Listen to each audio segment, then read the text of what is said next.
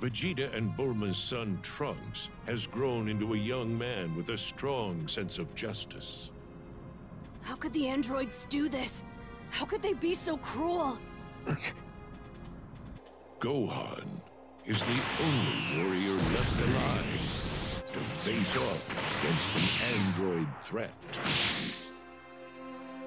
Trunks, admiring Gohan's strength and burning with a desire to defeat the androids, makes an impassioned plea. Gohan, I want to be stronger. I want to put a stop to these monsters. Please, train me so I can help you fight.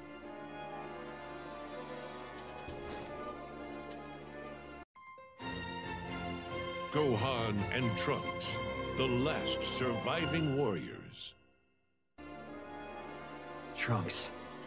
Okay, I'll do it. Thank you, Gohan. You won't regret this, I promise.